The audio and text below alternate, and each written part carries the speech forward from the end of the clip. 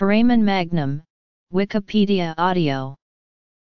The foramen magnum is a large oval opening in the occipital bone of the skull in humans and various other animals. It is one of the several oval or circular openings in the base of the skull. The spinal cord, an extension of the medulla, passes through the foramen magnum as it exits the cranial cavity. Apart from the transmission of the medulla oblongata and its membranes, the foramen magnum transmits the vertebral arteries, the anterior and posterior spinal arteries, the tectorial membranes and alar ligaments. It also transmits the spinal component of the accessory nerve into the skull. The opisthion is the midpoint on the posterior margin of the foramen magnum and is a cephalometric landmark. Another landmark is the basion located at the midpoint on the anterior margin of the foramen magnum. The foramen magnum is a very important feature in bipedal mammals. One of the attributes of a bipedal animal's foramen magnum is a forward shift of the anterior border, this is caused by the shortening of the cranial base. Studies on the foramen magnum position have shown a connection to the functional influences of both posture and locomotion.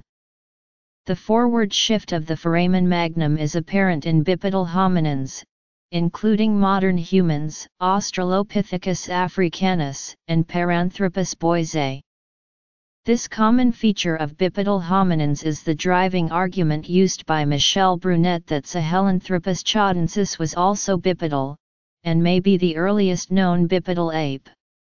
The discovery of this feature has given scientists another form of identifying bipedal mammals. Compartments the alar ligament which is attached on each side to the tubercle of occipital condyle on each side of foramen magnum divides it into anterior smaller compartment and posterior larger compartment. In humans, the foramen magnum is farther underneath the head than in the other great apes. Thus, in humans, the neck muscles do not need to be as robust in order to hold the head upright. Comparisons of the position of the foramen magnum in early hominid species are useful to determine how comfortable a particular species was when walking on two limbs rather than four.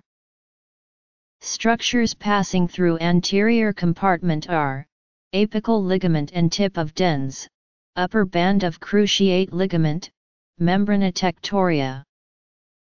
This article incorporates text in the public domain from page 129 of the 20th edition of Gray's Anatomy.